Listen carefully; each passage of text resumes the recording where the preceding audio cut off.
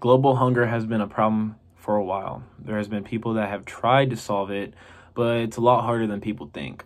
Global hunger refers to the groups of population who regular don't regularly don't get enough food. I want to find the best solution so I can end world hunger. And the first source that I found is how a farmer has produced enough calories to adequately feed the entire world. Um, the global trend is moving the right direction, though. Uh, between 1990 and 2015, the prevalence of undernourished people in developing countries declined from 23.3 to 12.9%. If you ask me, that's a pretty big drop. Seven or more for the time first time in history that the end of uh, world hunger and within reach. But while the world is now closer than ever before ending world hunger, there is still a lot that we need to do.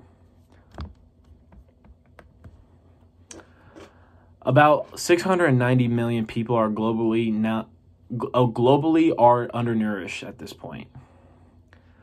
Now, me being a human, I feel like I am credible to talk about this because I see it all the time when I go downtown in Kansas City.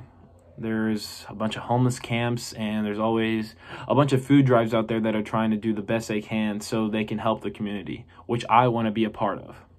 World hunger is a problem that needs to be to have a greater recognition, and it it and other world problems can be solved if people just stand together and believe in each other and take action.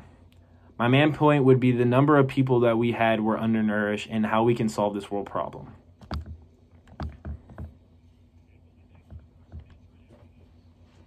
One way we can solve world hunger is just coming together as a community simply.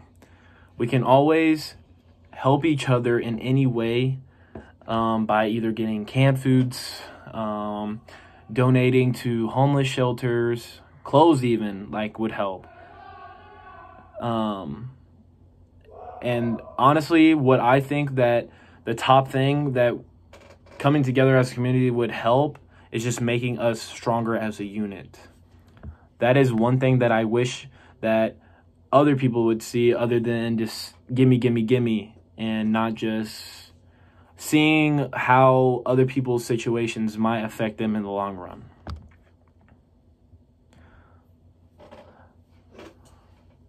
Um, the source that I chose, the first source, helps me understand that world hunger is possible to overcome just seeing the percentages back to, to 2015, 2015 is astonishing. As up to date, that we are at 9.9% of people that are still struggling with world hunger, which is still pretty high. My second source is about a scientist, which is good because you need multiple perspectives to truly understand why world hunger it was so bad and now getting better. This source is about a scientist, Professor Mankombu Sambisiv Swaminathan, and his journey on how to stop world hunger. Um, he went to many different colleges and has a PhD he has a PhD degree, which is very credible if you ask me. Throughout his journey, he understands why world hunger it comes up with solutions to stop world hunger.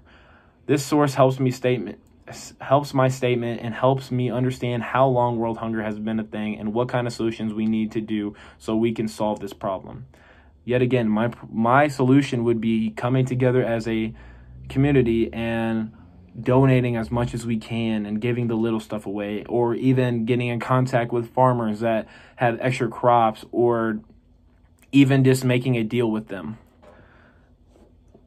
That that also like relays back to my first source because farmers have had made or produced enough calories to adequately uh, feed the world uh, my third source is about a young adult who is privileged and doesn't understand world hunger.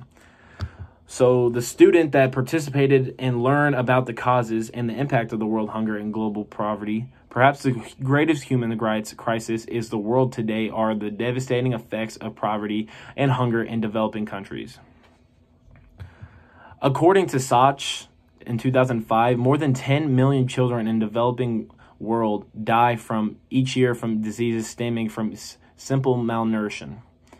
One in 10 children from these countries will die before reaching the age of five. That is simply outrageous.